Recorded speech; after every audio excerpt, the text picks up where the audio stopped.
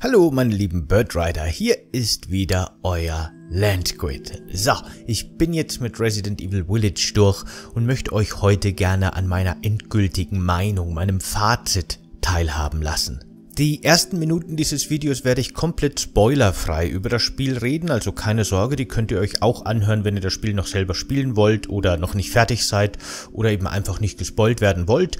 Und ich werde euch dann ausdrücklich darauf hinweisen, wenn es Zeit ist auszumachen, wenn ich über die Details rede. Also erstmal vorweg bin ich jetzt mit einem sehr positiven Gefühl und einem sehr positiven Bild von dem Spiel aus dem Spiel rausgegangen. Das Spiel hat mich durch die Bank wirklich im Grunde sehr gut unterhalten und amüsiert.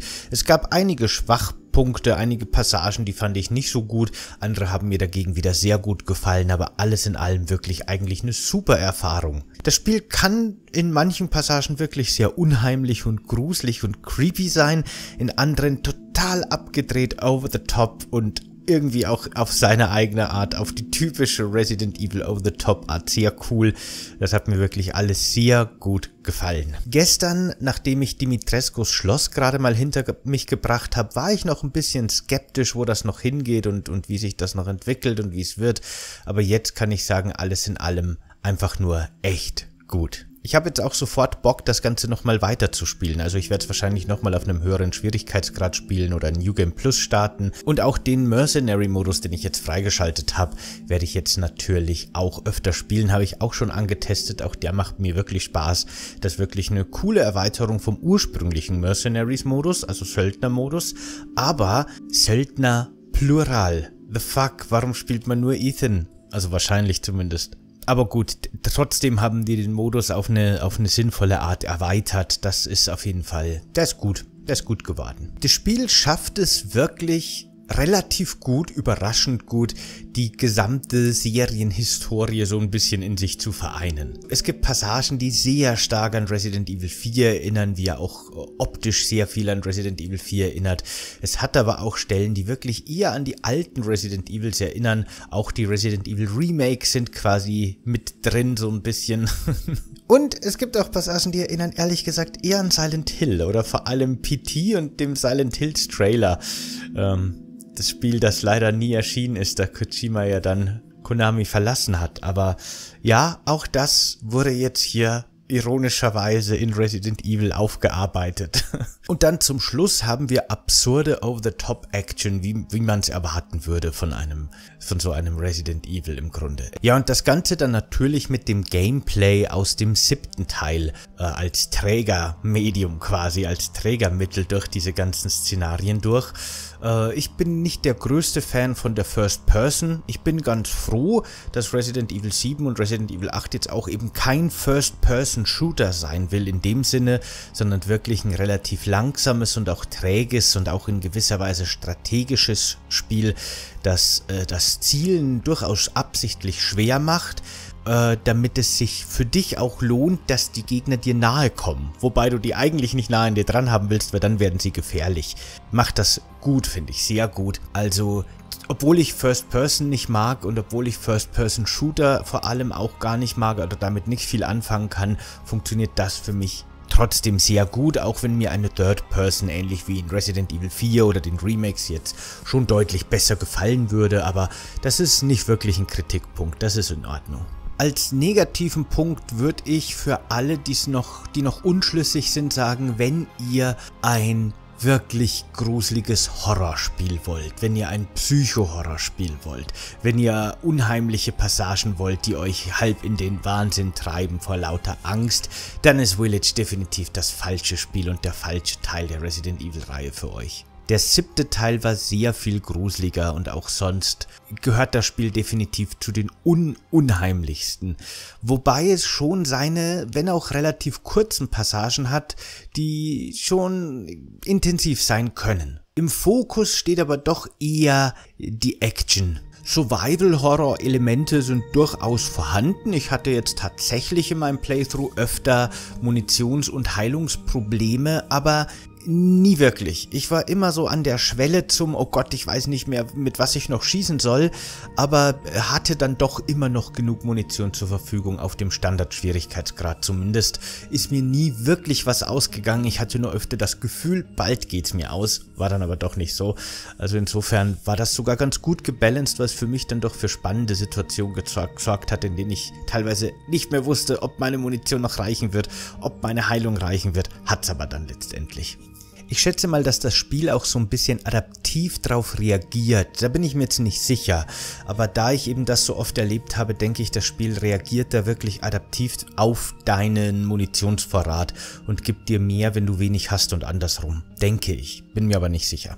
Schade finde ich, dass auf manche Oberhäupter und manche Figuren in dem Spiel meiner Meinung nach zu wenig eingegangen wird. Ich finde auch, dass die vier relativ unterschiedlich im Spiel gewichtet sind. Schon allein von der Spielzeit, aber auch gefühlt von der Wichtigkeit und auch der Präsenz dieser Figuren. Das fand ich ein bisschen schade, da hätte man ein bisschen mehr draus machen können. Irgendwie hatten die Baker, die Baker-Familie im siebten Teil, vor allem Jack Baker natürlich, hatte irgendwie mehr Screentime einfach, mehr Dominanz im Spiel, war irgendwie ständig präsent oder immer wieder mal und äh, das hat ihn wirklich zu einem zu einem erinnerungswürdigen Antagonisten gemacht. Das fehlt mir in Village leider. Im Gegensatz zu Resident Evil 7 habe ich in Village nicht wirklich das Gefühl, jetzt eine Bindung zu den Antagonisten aufgebaut zu haben. Und, da kommen wir vielleicht zum nächsten Punkt, auch nicht zum Protagonisten. Ethan Winters ist im achten Teil ungefähr genauso persönlichkeitsbefreit wie im siebten Teil. Es, ich weiß, es gibt einige, die können mit der Figur was anfangen, aber ich gehöre zu denen und ich glaube, das ist auch immer noch die Mehrheit, was man so jetzt gelesen hat zumindest, die den Charakter für ziemlich ähm, leer und persönlichkeitslos halten. Und äh, grundsätzlich habe ich überhaupt nichts dagegen, wenn man so einen stummen Protagonisten macht, so eine Hülle für den Spieler. Gerade in japanischen Spielen ist das ja wirklich ein sehr beliebtes Stilmittel und da habe ich wirklich nichts dagegen. Ich mag das sogar ganz gerne. Ist mir tausendmal lieber als irgendwelche Charaktere, die mir dann noch am Ende unsympathisch werden, weil sie Trottel sind. Dann lieber nix sagen lassen und lieber nur eine Spielhülle äh, sein. Wie ja auch in fast jedem westlichen Rollenspiel, ne, wenn ich drüber nachdenke. Aber ja, aber nee, Ethan Winters ist so ein Hybrid aus jemandem, der ständig die Klappe offen hat und ständig redet, aber irgendwie keine Persönlichkeit hat. Sie zeigen auch sein Gesicht nie. Auch im Promomaterial vermeiden sie das, was auch darauf hinweist, dass der wahrscheinlich wirklich seine Spielerhülle sein soll, aber dafür ist er dann doch wieder zu verbal und das funktioniert für mich gar nicht. Also Ethan hat für mich leider überhaupt nicht funktioniert, aber gut, mein Gott, damit kann ich leben und der Schluss des Spiels war für mich ein bisschen zu gerusht. Ich finde, das Spiel hat grundsätzlich eine ganz gute Länge, wenn man sich auch, wie gesagt, für einige Oberhäupter, finde ich, ein bisschen mehr Zeit hätte nehmen dürfen durchaus, ist es schon in Ordnung im Großen und Ganzen, finde ich. Äh, aber der Schluss ist mir ein bisschen zu schnell da hätte man sich, finde ich, definitiv nochmal ein bisschen Zeit lassen können. Ne, ich bin wirklich eher ein Spieler, der sich bei Spielen oft denkt, so, na, jetzt komm halt mal zum Ende, Mensch. Jetzt müssen wir hier noch ewig lang das irgendwie rauszögern. Äh, langweilig. Aber nee, hier war es genau andersrum. Hier dachte ich mir, da hätte noch ein richtiges Kapitel am Schluss, finde ich, kommen dürfen. Und dann, wenn wir noch, wenn wir schon bei der Kritik sind, gibt es einige Spielmechaniken. Das sind zwar nur Kleinigkeiten, die kann man auch weitgehend irgendwie tolerieren. Oder ignorieren besser gesagt. Aber da habe ich mir schon gedacht, also, das ist irgendwie komisch und aufgesetzt und auch fehl am Platz. Speziell rede ich vor allem von diesem Jagd von dieser Jagdmechanismus unter großen Anführungszeichen. In dem Dorf sind ab und zu Tiere, die kann man töten und deren Fleisch mitnehmen, damit man Ethan upgradet. Das fand ich super dämlich und hat mich richtig, richtig gestört. Das hat mich richtig sauer gemacht, weil es so dämlich ist. Aber auch das nur eine Kleinigkeit. Ja, und auch manche Referenzen oder Bezüge zu alten Resident Evil Teilen fühlen sich ein bisschen aufgezwungen an. Und passen nicht so oder fühlen sich nicht so natürlich an. Die passen nicht so richtig rein. Da hätte man vielleicht ein bisschen mehr, entweder mehr Verbindungen herstellen sollen oder das Ganze lassen. Manches ist da irgendwie ein bisschen draufgedrückt, finde ich. Die Easter Eggs, die teilweise drin sind, finde ich sehr schön, aber die direkten Bezüge dann teilweise in der Story finde ich eher doof. So, na gut, dann beenden wir jetzt hier mit den spoilerfreien Part. Also Vorsicht, Warnung, ausdrücklich. Jetzt gehe ich ganz spezifisch auf ein paar Teile an, also auf ein paar, auf die einzelnen Bereiche ein und werde da auch viel wirklich ins Detail gehen. Also wenn ihr ungespoilt ins Spiel gehen wollt, dann hört jetzt lieber auf, weil jetzt nehme ich keine Rücksicht mehr. Jetzt wird alles rausgespoilt. Also, ich persönlich hatte von dem Spiel erstmal am Anfang wirklich einen anderen Eindruck, als er dann, als das Spiel dann tatsächlich war. Ich dachte, es wird sehr viel mehr Resident Evil 4. Ich dachte, dass man in dem Dorf am Anfang zum Beispiel sehr viel länger unterwegs ist und sehr viel mehr so belagerungsartige Arena-Kämpfe durchleben muss, mit verschiedenen Gegnerkonstellationen und Gegnerarrangements, so wie es eben auch in Resident Evil 4 war. Und ich dachte, Resident Evil 4 war hier auch von der Struktur her ein sehr viel größerer, äh, ein sehr viel größeres Vorbild, weil ja auch das Intro des Spiels genau das teast. Das Spiel geht im Grunde los wie Resident Evil 4. Man kommt in das Dorf und dann geht die Belagerung los und dann kommen verschiedene Gegner und dann kommt auch noch so ein großer, mächtiger Gegner, wie eben der Kettensägenkerl aus Resident Evil 4. Man kann sich dann verbarrikadieren und muss sich durchkämpfen, bis dann plötzlich alle, äh, wie unter Hypnose den Kampf verlassen und man steht wieder alleine in diesem Dorf. Ne, genau das Intro aus Resident Evil 4 hat man auch in Resident Evil Village, aber dann geht so nicht weiter, im Gegensatz zu Resident Evil 4. Ganz im Gegenteil. Dann nimmt das Spiel plötzlich ganz stark das Tempo raus und das hat mich erstmal irritiert, weil ich dachte so, okay, nee, das, das ist gar nicht, was ich erwartet hatte, aber im Grunde ähm, variiert das Spiel dann eben wirklich in seinen, in seinen Bezügen zur Reihe und in seinen Spielmechaniken sehr stark. Weil dann geht's auch schon relativ flott nämlich auf in Dimitrescus Schloss. Und dort wird das Ganze dann sehr viel ruhiger und sehr viel entspannter und diese Action aus dem Dorf ist dann plötzlich komplett vergessen. Plötzlich gibt's nur noch dunkle Kellerareale, wo diese niederen Vampirkerle rumlaufen. Man wird ständig von den Töchtern und von Dimitrescu selbst verfolgt. Und auf dem Dach gibt's dann noch so ein paar fliegende Gegner. Aber das ist wirklich alles sehr ruhige Passagen. Man kann sich viel umschauen. Man geht oft durch irgendwelche Gänge und löst kleine Rätsel, ohne dass man von irgendwelchen Gegnern belästigt wird. Das ist ein super Tempowechsel, ein super Kon Kontrast zum Einstieg des Spiels. Und das wahrscheinlich auch absichtlich durchaus. Hier will man wahrscheinlich wirklich eben genau diesen Kontrast erzeugen.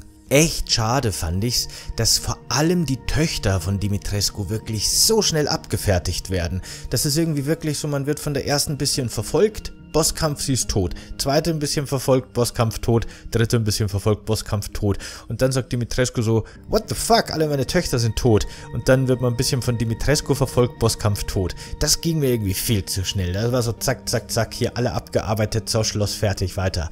Da hätte ich gern ein bisschen mehr gehabt, ein bisschen mehr Interaktionen mit Dimitrescu, ein bisschen mehr Hintergrundgeschichte.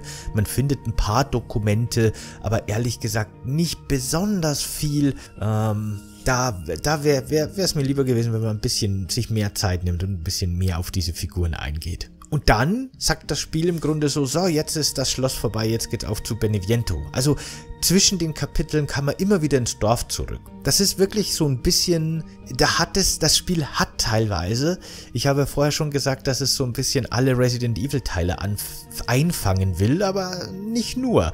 Es fängt eben auch ein bisschen Silent Hill mit ein, zu dem kommen wir jetzt dann gleich. Und aber auch ein bisschen Zelda und ein bisschen Dark Souls. Also es hat da schon irgendwie sich aus allem möglichen ein bisschen bedient es gibt tatsächlich einige Rätselpassagen, die echt einfach Zelda-Rätsel sind. Vor allem Breath of the Wild. Diese Kugel-Minispiele zum Beispiel sehr stark, aber auch so diese Fackel-Anzündspiele. Da gibt es ein optionales Rätsel. Da muss man dann, das ist jetzt wirklich ein großer Spoiler, also wirklich Vorsicht, ne? Ähm, also ein großer Gameplay-Spoiler, weil ich hier das ganze Rätsel im Grunde spoile, dann muss man nicht nur mit einer Schwungfackel, wie man das aus dem Schloss kennt, durch Anstoßen die Fackeln anzünden, sondern man muss dann auch Gegner, die unendlich spawnen, bis man das Rätsel gelöst hat, mit dieser Fackel in Brand setzen und dann in einen anderen Raum locken, damit dieser Gegner dort eine Fackel anzündet. Also wirklich so Physikrätsel mit Feuer und so ein bisschen um die Ecke denken. Ähm, Und dann haben wir die Welt, die eben sehr stark wie Demon Souls oder vor allem finde ich Dark Souls 2 strukturiert ist. Mit dieser Hub-World und eben diese vier Stränge, in die diese geht. Aber gleichzeitig eben auch so ein bisschen, so ein bisschen Oldschool Zelda hat, hat mich das erinnert, weil man findet in jedem großen Bereich im Grunde ein neues Werkzeug, das man dann benutzen kann, um neue Schätze oder Bereiche aus dem Dorf in der Hub-World freizuschalten. Äh, außerdem jedes Mal, wenn man zurück kommen, verändert sich die Hub-World ein bisschen, äh, neue Gegner platziert und so weiter. Äh, cool, finde ich gut, finde ich wirklich cool, aber ähm, das ist nicht aus irgendeinem Resident Evil Teil inspiriert, das ist aus anderen Spielen inspiriert. Aber gut, machen wir weiter mit Beneviento, ne? Bis jetzt war mein Eindruck eben so, das Schloss sehr gerusht, stimmungsvoll, aber sehr gerusht, irgendwie sehr schnell und diese Verwunderung darüber, dass der anfängliche Resident Evil 4 Part unter Anführungsstrichen so kurz ist. Dann geht's weiter zu Beneviento. Und Beneviento hat mich in gewisser Weise überrascht. Ich habe schon erwartet, dass wir ungefähr sowas in der Richtung sehen, aber das war dann schon ziemlich crazy. Also man geht am Anfang in dieses Haus, verliert dann im Grunde recht schnell alle seine Waffen und merkt schon, aha, das ist jetzt so eine Passage. Hier erwartet mich kein Kampf, ich bin, kann mich auch nicht wehren. Äh, ich bin jetzt hier in diesem, in diesem Haus gefangen, in diesem Rätselhaus, in diesem Escape Room Haus und muss dann auch wirklich äh, mehrere Rätsel lösen, eine Reihe von Rätseln. Man muss so eine Puppe untersuchen und ähm, findet verschiedene Schlüsselelemente und geht dann durchs Haus, um das alles quasi irgendwie dahin zu bringen, wo es hingehört. Fand ich ganz nett, die Stelle. Fand ich wirklich ganz nett. Und dann wird's richtig, richtig abgefuckt. Weil dann plötzlich betreten wir den Bereich, der mich eben sehr stark an den Trailer zu Silent Hills erinnert hat. Also nicht PT, sondern es gab dann später auch mal einen Trailer. Ein kurzer Trailer, in dem man nur so ein bisschen gesehen hat, was sich da Kojima und, und Guillermo del Toro an krankem Scheiß zusammen gedacht haben. Und daran fühlte ich mich sehr stark erinnert. Weil plötzlich findet man am Boden, ne, das Licht geht aus, es ist plötzlich dunkel in diesem Rätselraum und plötzlich findet man am Boden eine blutige Spur mit so etwas wie einer großen Nabelschnur, die da liegt. Und die verfolgt man dann und dann kommt plötzlich aus der Dunkelheit im Grunde ein riesiges, bizarr verformtes Baby, das auf einen zukrabbelt und lacht und Babygeräusche macht und einen verschlingen will. Und dann kommen wir so ein bisschen, das geht so ein bisschen in Richtung Alien Isolation, wenn man das gespielt hat, muss man im Grunde vor diesem Ding fliehen und sich unter irgendwelchen Betten und in irgendwelchen Schränken verstecken. Vielleicht auch äh, Silent Hill Shattered Dreams hieß es, glaube ich, ne? So ein Reimagining so ein bisschen vom ersten, glaube ich, wenn mich nicht alles täuscht, und wie man sich auch nicht wehren konnte. Äh, genau. Und das war eine total abgefuckte Freaky-Stelle. Ich fand die richtig cool auch, aber hat mir auch echt Angst gemacht und hat mich gestresst. Ich war froh, dass die nicht zu lange ist. Dann kommt man raus und kämpft gegen Benevento und ihre Puppen. Und dann ist im Grunde das Benevento-Haus schon abgeschlossen. Ich habe das jetzt lang ausgeführt, weil das bei mir auch wirklich einen bleibenden Eindruck hinterlassen hat. Das ist eine sehr coole Stelle. Ging aber auch sehr schnell dann im Endeffekt. Gerade der Puppenkampf, da läuft man durchs Haus findet die dreimal und dann ist es kaputt. Das ist nur ein Fangenspielen oder ein Suchenspielen, quasi Verstecken spielen. Das wollte ich sagen. Das ist mir gerade nicht eingefallen, wie das heißt. Verstecken spielen. Äh, Ende. Fand ich ein bisschen schade. Schön fand ich, dass dann quasi noch erklärt wird, dass Beneviento im Grunde mit örtlichen Pflanzen rumexperimentiert, um Halluzinationen ganz gezielt bei Menschen äh, auszuführen oder auszulösen und dass sogar dann später noch erklärt wird, warum sich ihre Puppe bewegen kann. Weil ich dachte mir wirklich, okay, jetzt geht's aber wirklich schon in den übernatürlichen Bereich und selbst wenn die mir irgendwie erklären, dass jetzt die telekinetische, telepathische Kräfte entwickelt haben, wäre mir das ein bisschen zu weit gegangen. Das geht dann schon einfach wirklich in so, in so übernatürlichen Bereich. Das hätte ich nicht gut gefunden, aber die haben sich wenigstens eine etwas hanebüchene, äh naturwissenschaftliche, unter Anführungsstrichen, Erklärung überlegt. Das fand ich gut. Für Resident Evil Verhältnisse voll in Ordnung. Die experimentiert eben viel mit Pflanzen und kann dadurch irgendwie ganz gezielt Halluzinationen hervorrufen und hat ihren Parasiten, weil zu dem kommen wir aber noch, hoffe ich, ich vergesse hoffentlich nicht, mit der Puppe geteilt, damit sie die Puppe lenken kann. Ja, die Parasiten und der Mold und die Pilze haben ja irgendwie eine Verbindung miteinander, das wissen wir ja schon. Da ist fraglich, ob das über Enzyme funktioniert oder wie da genau die Kommunikation funktioniert, aber gut, okay, soweit. Der, der Stretch ein bisschen of Disbelief äh, die Suspension of Disbelief, besser gesagt, muss hier so weit sein, dass man akzeptiert, dass es halt diesen Pilz gibt, der irgendwie eine Verbindung hat miteinander. Und dann passt das schon. Na gut, okay. Benevento auch, finde ich, sehr schnell abgehakt, leider, aber wirklich eine Passage, an die ich mich, die den bleibenden Eindruck hinterlassen hat. Eine coole Passage, aber leider eine sehr kurze, finde ich. Wirklich sehr kurz. Dann kommt noch so eine Passage, wo man sich quasi von ihrem Haus zurück ins Dorf kämpft. Das gehört schon noch zur Beneviento-Passage, aber sie und ihre Puppe und alles sind dann eigentlich schon besiegt und abgeschlossen. Okay. Ja genau, dann kommt eben Moreau. Und Moreau, finde ich, echt ist der verschenkteste Charakter überhaupt.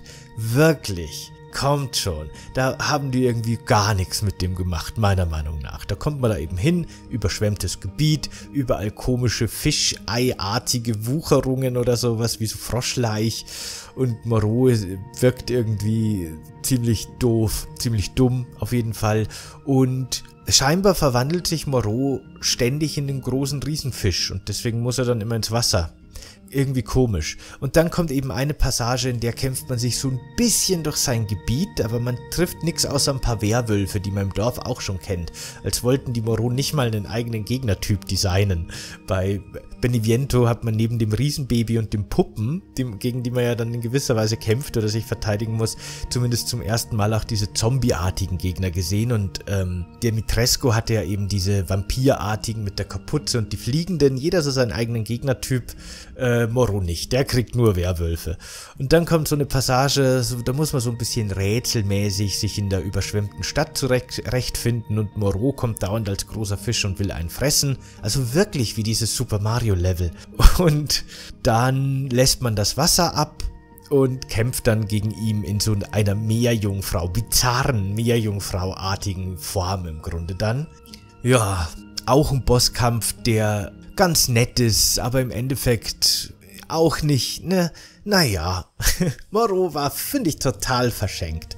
Kein eigenes, keine eigenen Gegner bekommen, nervige großer Fisch frisst dich gleich Passage und dann Bosskampf, der auch jetzt nicht super einen Eindruck hinterlässt. Also, naja, schade finde ich das. Auf jeden Fall ist Moreau dann auch abgehakt und dann kommt Heisenberg. Und ich finde, Heisenberg ist heimlich der Hauptprotagonist in dem Spiel geworden. Weil der plötzlich, finde ich, also ich weiß nicht, ob stimmt, ich müsste mal gucken, aber gefühlt hat der die längste und größte Passage äh, im, im ganzen Spiel, wenn man die Festung mitrechnet. Und ähm, der bewirkt dann auch die größte Veränderung im Dorf, wenn man zu ihm kommt und der kündigt sich an, der interagiert viel mit einem, der redet die ganze Zeit mit einem im Gegensatz zu den anderen. Man hört dauernd seine Funksprüche und so weiter. Der war schon am präsentesten. Und da beginnt dann auch wirklich der Action-Teil des Spiels. Also so richtig der Action-Teil des Spiels. Das geht schon damit los, dass man erstmal eine Festung stürmen muss, die scheinbar die Festung dieser Werwölfe ist. Da kämpft man sich dann wirklich durch Horden von Werwölfen. Hier wird es wieder ein bisschen Resident Evil 4 artig, aber sogar das Finale von Resident Evil 4 war nicht so irre wie die Massenkämpfe, die man da durchleben muss in der Festung. Hier sieht man sehr schön, was die Werwölfe, die Lycans, eigentlich für komplexes Movement bekommen haben. Das nutzt das Spiel fast nie, aber die können wirklich irgendwie sich an Seilen, an Lianen, äh, oder ja doch, es sind Seile, die von der Decke hängen, durch die Gegend schwingen und wirklich äh, hohe Höhen überwinden und gut klettern. Die haben sehr viel Animationen und sehr viel Bewegungsspielraum. Wird eigentlich fast nie genutzt, nur in dieser Passage hier im Stronghold und die auch nicht so lange in der Festung. Schade, wirklich. Da haben die so einen Gegner mit so komplexen Movement-Möglichkeiten, die nie genutzt werden. Seltsam fand ich das. Und dann, wenn man das hinter sich hat, dann geht's eben auf zu, zu Heisenbergs Fabrik. Und Heisenbergs Fabrik fand ich persönlich richtig cool. Das ist genau der Part, der in Tests, die ich gelesen habe, oft kritisiert wurde, verstehe ich null. Der hat mir richtig gut gefallen. Crazy, over the top Scheiße. Wie ich schon vermutet habe, ist Heisenberg quasi Frankenstein. Ne? So wie Dimitrescu Dracula ist und Benevento so ein bisschen so eine Geisterhexen, ja so eine Hexe ist im ehesten. Und Moreau, ja weiß ich nicht. Moreau ist dann in diesem Vergleich wahrscheinlich eher so Cthulhu. Wirklich. Da fällt mir jetzt gerade kein anderer Vergleich ein, so Lovecraft-Horror, die tiefen Wesen. Äh, Und ne, wenn es um westlichen Horror geht, meine ich jetzt um Vergleiche mit typisch westlichen Horror und Heisenberg ist Frankenstein. Nur eben Industrialisierungs-Frankenstein, weil der im großen Maßstab seine Frankensteins Monster oder Heisenbergs Monster in dem Fall herstellt. Und die Gegner funktionieren sehr, sehr, sehr, sehr stark. Im Grunde genau. Die funktionieren genau wie diese, jetzt fällt mir der Name nicht ein, diese großen Krallen schwingenden blinden Gegner aus dem Schlossbereich aus Resident Evil 4. Nur, dass sie eben keine Krallen haben, die sie schwingen, sondern Bohrer. Und, da ihr, und dass ihre verwundbare Stelle meistens vorne auf der Brust ist. Nur einmal hinten, glaube ich. Und sie ist kein Parasit, sondern so ein Dampfventil, in dem aber ein Parasit lebt. Also irgendwie, ja. Genau. Und die erinnern aber von ihrer Inszenierung her auch sehr stark an die Borg, finde ich. Widerstand ist zwecklos. Zum Glück nicht wirklich, man kann die schon besiegen, aber die stecken schon ordentlich was ein und sind auch echt äh, keine leichten Gegner. Da muss man sich wirklich ein paar Strategien überlegen, wie man die effektiv besiegen kann. Die einfachste Strategie ist Mine auf dem Boden und dann mit irgendwas starkem Schrotflinte oder so ins Dampfherz schießen. das funktioniert immer, aber manchmal können die schon echt schwer sein. Und dann gibt es eben in verschiedenen Versionen. Dann hat er die, die, die, die teilweise, da gibt es eine Stelle, da kommen die plötzlich mit Jetpacks und riesigen Helmen mit Flügel dran. Und äh, dann kommt die super gepanzerte Version zweimal, glaube ich, nur im ganzen Spiel die Soldat Tank Edition und neben der Jetpack Edition von Soldat. Und oh mein Gott, ist das alles crazy. Ich habe das so geliebt, ey. Ohne Scheiß. Das ist so bekloppt und genial gleichzeitig. Ich mochte das total gerne. Ab, also vom, vom gruseligen What the Fuck her war definitiv Beneviento mein Highlight und vom Action What the Fuck her definitiv Heisenbergs Fabrik. Und dann, wenn man sich durch diese Fabrik kämpft, und das ist, finde ich, ein relativ langes Kapitel. Wie gesagt, ich finde, da nehmen die sich Zeit, bekommt man einen kleinen von Chris offensichtlich selbst zusammengeschusterten Panzer. so ein kleines Panzergefährt mit Kettenantrieb, Riesenmotor hinten, mit drei Armen, die dran montiert sind. An einem Arm eine Kettensäge, an dem anderen eine Gatling und an dem anderen eine, eine Bazooka. Mit unendlich Munition natürlich alles, weil warum nicht? Und dann fährt man raus und dann mutiert Heisenberg zu einem riesigen Monster-Roboter-Blob irgendwie. Und dann kämpft man da in seinem kleinen Kettensägen-Bazooka-Panzer gegen diesen mutierten Riesenroboter Heisenberg. Das ist richtig geil. Meine Güte, hat mir das, hat das so bescheuert. Super, wirklich genial. Ach, das war, das war schon ein Highlight für mich. Meine Güte, so viel bescheuerter over-the-top Quatsch. Und so, also total toll. Ich bin immer noch begeistert davon. Das hat mir richtig gut gefallen. Wie gesagt, das haben einige echt stark kritisiert und das ist bestimmt nicht für jeden was. Ne? Gerade wenn man erwartet, jetzt kommt so ein gruseliges Horror Resident Evil, wie viele Ableger der Reihe ja dann auch wirklich sind, dann ist das wahrscheinlich ein sehr negativer What the fuck Moment. Für mich nicht. Gerade gegen Ende des Spiels habe ich sowas in der in der Größenordnung erwartet, mindestens. Insofern sehr cool. Ja, und dann wird später eben auch noch erklärt, das hat mir gut gefallen, dass durch diesen Parasiten, der eben bei allen ja so ein bisschen eigene Mutation hervorruft, ähm, die äh, Heisenberg elektrische Organe ausgebildet hat, mit denen kann er magnetische Felder erzeugen. Ähnlich wie ein Aal. Also ein Aal, aber ein Aal hat auch, ne, der kann auch Strom erzeugen. So wird das ein bisschen erklärt, so wird das verglichen. Und mit diesen elektromagnetischen Feldern kann deswegen eben Metall ähm, manipulieren. Fand ich schön, keine Telekinese, er ist nicht Magneto in dem Sinne, sondern er hat einfach Magnetfeldorgane. Warum nicht? Wie gesagt, das ist, das ist Resident Evil Logik, das ist voll in Ordnung. Also wird das auch dann noch für mich befriedigend erklärt, voll in Ordnung.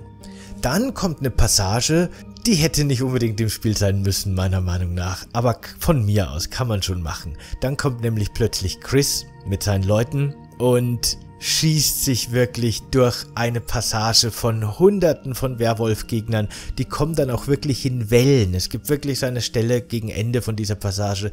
Da ist man an diesem Dorfplatz mit der, mit der Schwertstatue, mit der Heldinnenstatue und im Hintergrund ist eine riesige Pilzfestung und man hält einfach nur durch. Da kommen Wellen von Gegner und man schießt die alle weg und dann kommandiert man mit seinem Laser wieder einen Airstrike auf diese Festung und dann pff, Riesenexplosion, dann kommen wieder hunderte von Werwolf-Gegnern, die man wieder alle mit seinem Maschinengewehr wegschießt und Granaten fliegen und es ist nur noch, das ist, das ist bescheuert. da man hier Chris spielt, weil Ethan quasi außer Gefecht gesetzt wurde, äh, ist ja auch hier keine Progression da. Das ist wirklich nur eine reine Schießbude. Hier kriegt man keinen Loot von den Gegnern, hier kriegt man keine... Äh, man, es gibt keinen Händler, man hat seine ganzen Waffen nicht mehr, man hat das neue Chris-Equipment. Das ist wirklich so ein, so ein rein geschnittenes Ding. Vielleicht hätten die ursprünglich mal geplant, da ein DLC draus zu machen oder so und dann doch nicht. Es ist auch eine relativ kurze Passage dann wieder. Ich, ich weiß es nicht, fühlt sich fehl am Platz an, aber gut, macht man halt dann. Dann übernimmt man wieder die Kontrolle über Ethan und geht direkt im Grunde zum Bosskampf gegen Mother Miranda und dann wird das Ganze abgeschlossen. Das fand ich wirklich an der Stelle schade, weil hier hätte ich mir echt gewünscht, dass Mother Miranda noch seinen, ihren eigenen richtigen Dungeon kriegt. Also wirklich, ich dachte echt, jetzt kommen wir nochmal so richtig in den Laborbereich. Jetzt kämpfen wir gegen die fehlgeschlagenen Experimente und jetzt ist hier unten wirklich die crazy Kacke am Dampfen. Aber gar nicht. Man geht da rein, Mother Miranda macht gerade ihr komisches Ritual und zack, fertig. Schade, aber gut, so war es dann eben. Aber insgesamt sehr positiv. Ja, und zur Story des Spiels kann ich sagen, ich muss mich da echt jetzt einarbeiten, mache ich ja sowieso, werde ja viele Videos dazu machen, ist eh ganz klar, aber bis jetzt würde ich sagen, macht das Ganze von hinten bis vorne keinen Sinn. Keinen, keinen, kein bisschen Sinn. Es ist wirklich bekloppt. Meine Güte, wirklich. Also wie gesagt, vielleicht, wenn ich mich einlese in das Ganze und Hintergrundinformationen recherchiere, kommt der ein oder andere Aha-Moment, kann ja sein, aber bis jetzt muss ich echt sagen, die Story hat so viel Plotholes und ist so an den Haaren herbeigezogen, dass ich wirklich nicht weiß, was die sich dabei gedacht haben. War, war, war wohl ein wilder Entwicklungsprozess, den das Spiel durchgemacht hat. Anders kann ich mir das nicht erklären. Also, es würde dann quasi revealed, dass Mother Miranda in Wirklichkeit Mia in, zu irgendeinem Zeitpunkt ersetzt hat und mit Ethan gemeinsam gelebt hat, um das Baby zu entführen. Da geht's schon los. Wie umständlich kann man es denn machen, ein Kind zu entführen? Warum? Warum das Ganze? Das alleine ergibt schon keinen Sinn. Aber das ist nur eine Kleinigkeit. Dann kommt wegen Chris, bringt Mother Miranda um und entführt das Kind und Ethan, weil die müssen untersucht werden, ob die nicht auch schon von Mother Miranda infiziert wurden. Okay, dann wacht aber Mother Miranda wieder auf, weil die nicht wirklich tot war. Das ist auch so ein Punkt wo ich mir denke, Chris Redfield, der seit über 20 Jahren gegen Biowaffen kämpft, hat sich nicht gedacht, okay, wir sollten die Leiche irgendwie echt gut sichern oder wir sollten sie in kleine Stückchen zacken und in extra Gefäße lagern oder, ne, meine Güte, oder verbrennen. Es ist ne, ne, wie, also, das ist nicht sein erstes Rodeo, sollte man meinen. Aber gut, auch das im Vergleich zu dem, was gleich noch kommt, eine Kleinigkeit.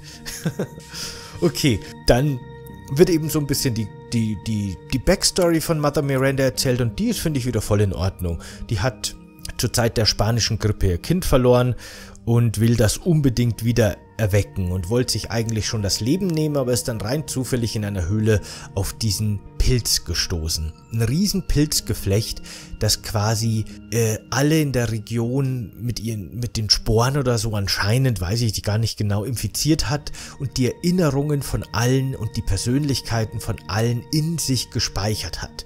Quasi so ein erweitertes neuronales Netzwerk, das alle Erinnerungen von allen Menschen aus der Region in sich hat. Und aus diesem Pilzextrakt will die jetzt quasi ihre Tochter wieder extrahieren. Und dafür braucht sie aber einen geeigneten Körper und dann fängt sie an, Experimente mit diesem Pilz zu machen. Und infiziert Leute mit diesem Pilz. Das ist, ein, das ist ein Kapitel in der Story. Aus aktuellem Anlass finde ich das ein bisschen bedenklich. Das Spiel ist auch ein bisschen ein Kind seiner Zeit. Aber hier geht man halt ein bisschen auf so aktuelle, sehr bedenkliche und komische Verschwörungserzählungen ein. Und das finde ich nicht gut.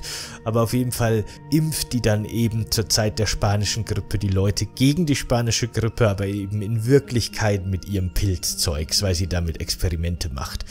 Und na, und das finde ich einfach aktuell ein bisschen bedenklich, dass man hier auf so bescheuerte Verschwörungsgeschichten eingeht, die dann vielleicht den einen oder anderen auch noch in dem, was er glaubt, bestärken. Aber ich denke mal gut, die meisten von uns dürften sich nicht von einem Spiel wie Resident Evil da beeinflussen lassen. Da mache ich mir keine großen Sorgen. Aber ich finde es gefährlich sowas. Ich hätte mich vielleicht jetzt nicht auf das, auf die Erklärung, auf das Thema eingelassen, wenn ich Capcom gewesen wäre. Aber gut, ist halt dann so. Naja, und dann hat sie eben später aus irgendeinem Grund noch einen Parasiten auf Basis dieses Pilzes entwickelt, um die Leute leichter zu infizieren. Der Kudo oder so ähnlich. Und das ist dann eben der Bezug, wo ich sage, okay, hier wollten sie wahrscheinlich eine Resident Evil 4 Referenzen im Bezug einbauen. Aber das ist ein bisschen, warum? W warum? Kann es nicht einfach der Pilz sein? Aber auf jeden Fall macht sie dann viele Experimente. Die meisten Menschen, die das überleben, werden aber dann eben zu diesen Lückens, zu diesen wolfsartigen Kerlen. Und das wollen die gar nicht. Die sind quasi ein ungewolltes Nebenprodukt. Werden aber dann trotzdem irgendwie, keine Ahnung, auf jeden Fall, ja, äh, werden dann aber eben vier Kandidaten besonders toll. Und zwar eben Dimitrescu und Moreau und Beneviento und Heisenberg, aber alle von denen sind gleichzeitig auch nicht geeignet, weil sie eben doch alle ihre Nachteile haben. Und dann macht eben Miranda einen Deal mit der Connection.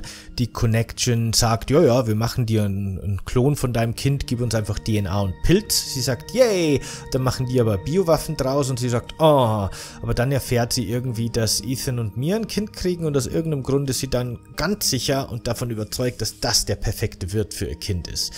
Ja, und zwar deswegen, weil dann wird noch irgendwie revealed und jetzt kommt wirklich der große What the fuck Plot-Twist, der echt keinen Sinn macht. Und zwar ist Ethan in Wirklichkeit schon damals, vor drei Jahren, im Bosskampf gegen Mia quasi gestorben. Jack Baker hat ihn umgebracht. Und der Pilz hat quasi komplett seinen Körper übernommen und ersetzt.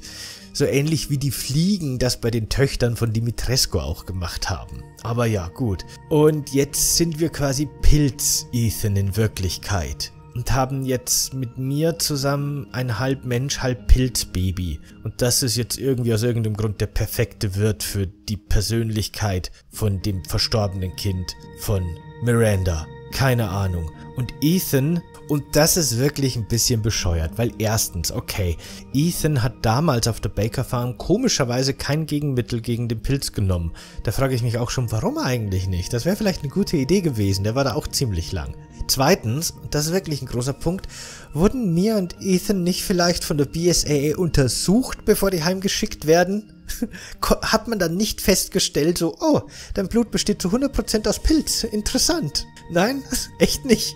Wie genau reproduziert denn dieser Mold jetzt Ethan plötzlich? Und vor allem, warum? Warum? Das macht der Pilz nicht. Also der Mold, den wir kennen, der übernimmt entweder die Leute quasi, macht die zugänglich zu, zu Evelyns Gedankenkontrolle oder aber er überwuchert Leichen und dann werden die molded draus. Dass der plötzlich den Körper von jemandem eins zu eins reproduziert, ja gut, aber gut, ist halt vielleicht eine einmalige Anomalie dieser Ethan, das mag ja sein. Aber wie gesagt, das haben die nicht gemerkt bei der BSAA, dass der jetzt ein Pilz ist komplett und haben den dann in sein privates Leben zurückgeschickt. Okay, good job. Keine Ahnung. Das finde ich so bescheuert. Und dann kopiert der Pilz quasi Ethan auch noch so genau, dass der sich sogar reproduzieren kann. Der hat dann quasi Moldspermien oder wie. Also ne, wirklich. Das ist, ich finde das so bekloppt. Und dann kommt noch hinzu, dass quasi Mother Miranda anscheinend auch die Gestalt dieser alten Hexe angenommen hat und Ethan so ein bisschen zu navigieren ihn zu leiten durch das Dorf und so. Und es gibt ehrlich gesagt keinen Grund, warum eigentlich. Warum denn das Ganze? Sie braucht Ethan am Ende nicht für ihren großen Plan, ganz im Gegenteil, sie will ihn dann selber umbringen. Es gibt auch keinen plausiblen Grund, warum sie jetzt ihre vier Lords loswerden will und ihre ganzen Werwolf-Armee-Leute. Warum macht sie das? Warum bringt sie ihn nicht gleich an Ort und Stelle um oder sie wirklich, er, er macht keinen Sinn. Sie lässt ihn absichtlich leben und hilft ihm sogar ein bisschen. W warum? Außerdem thematisiert das Spiel ja dann quasi, dass Ethan eigentlich schon lange tot ist und er nur eine Pilzkopie ist. In der Story wird aber recht eindeutig gezeigt, dass auch das Baby der Winters in Wirklichkeit zerstückelt wurde und tot ist. Und der Pilz eine Kopie von ihr hergestellt hat, von ihrem Körper. Und das ist irgendwie dann kein Problem, das wird nicht mehr thematisiert, das ist okay. Das ist nämlich ein großer Plot-Twist und ein großes Drama, so von wegen, oh, Ethan ist in Wirklichkeit schon lange tot. Ja, aber das Baby auch. Nee, keine Ahnung, interessiert niemanden, das wird übergangen, das wird nie wieder erwähnt. Okay, keine Ahnung, was? Und warum zur Hölle überfällt Miranda eigentlich plötzlich das Dorf mit ihren Lykans? Auch das macht keinen Sinn. Warum macht sie das? Es gibt dafür keine Erklärung. Das ist nicht notwendig für das Ritual in irgendeiner Form. Zumindest erklärt mir das das Spiel nicht. Warum es notwendig wäre. Und wenn sie jetzt erst anfängt, die Dorfbewohner zu schlachten und Heisenberg jetzt erst die ganzen Dorfbewohner in seine Waffen umwandelt. Wie hat das dann alles vorher funktioniert, die vorherigen 100 Jahre? Da wurden vereinzelt Experimente mit den Dorfbewohnern gemacht, das wird immer wieder angedeutet. Aber das muss doch den Dorfbewohnern auffallen, dass da irgendwas nicht stimmt und man verehrt dann die nicht einfach als komische Heilige über 100 Jahre hinweg, wenn immer wieder Leute sterben. Wie kommt so eine große Armee von diesen Werwölfen so schnell zusammen und wie hat die die ernährt? Es wird ja angedeutet, dass die ersten sich wirklich schon vor 100 Jahren in diese Lykans verwandelt haben. Und warum verwandelt sich dann überhaupt eigentlich dieser eine Kerl am Anfang vom Spiel, dieser Vater, dieser Verletzte, nennen dieser Dorfbewohner-Szene.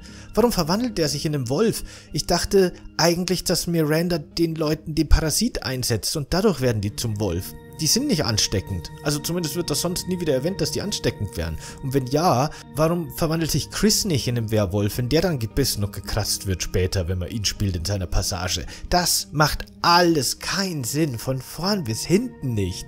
Meine Güte, was ist mit dieser Story los? Oh Gott, oh Gott, oh Gott. Also ich meine, Resident Evil hatte ja schon oft, wenn es um die Hauptstory geht, irgendwie ein paar, ne, Löcher oder, oder Flickwerke, die man ein bisschen tolerieren musste.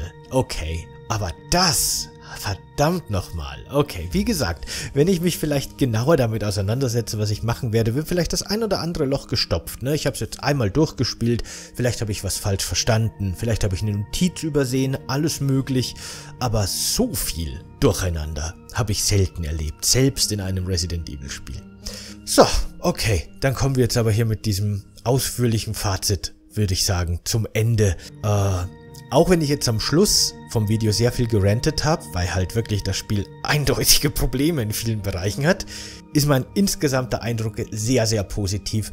Mal schauen, wie sich das in den nächsten Tagen entwickelt. Ich werde wie gesagt noch ein bisschen weiterspielen auf jeden Fall und äh, muss vielleicht auch erstmal drüber schlafen, weil die Eindrücke jetzt noch alle ganz frisch sind. Aber ich glaube tatsächlich, Resident Evil 8 wird zu meinen persönlichen Lieblings-Resident Evils gehören. Resident Evil 4 und auch Resident Evil 2 und 1 und die Remakes von 2 und 1 wird es wahrscheinlich nicht von meinem persönlichen Thron schubsen können, aber vielleicht, vielleicht dann so zu, ne? So 1, 2, Remake 1, Remake 2, Resident Evil 4, Resident Evil 8. Das ist vielleicht dann so die Liste meiner, also jetzt in unsortierter oder in chronologisch sortierter Reihenfolge, durchaus vielleicht die Liste meiner Lieblings-Resident Evils. Das kann echt sein, dass es damit mit aufgenommen wird in Zukunft, wenn ich über gute Resident Evil Teile rede. Oder was heißt gute? Die, die mir persönlich am besten gefallen haben. Tja, jetzt aber wirklich Schluss, Mensch. Danke, dass ihr mit dabei wart. Und danke vor allem, wenn ihr wirklich bis jetzt zum Schluss durchgehalten habt. Das machen wirklich nur die wenigsten. Also, yeah. wenn euch das Video gefallen hat, liken und abonnieren bitte nicht vergessen. Mögen die Tentakel der Tiefe mit euch sein. Und eure Meinung natürlich zu Resident Evil 8, wenn ihr es auch schon durch oder angespielt habt. Oder auch nicht. Schreibt mir gerne in die Kommentare. Äh, würde mich sehr interessieren. Macht's gut. Bis zum balden Mal. Ciao.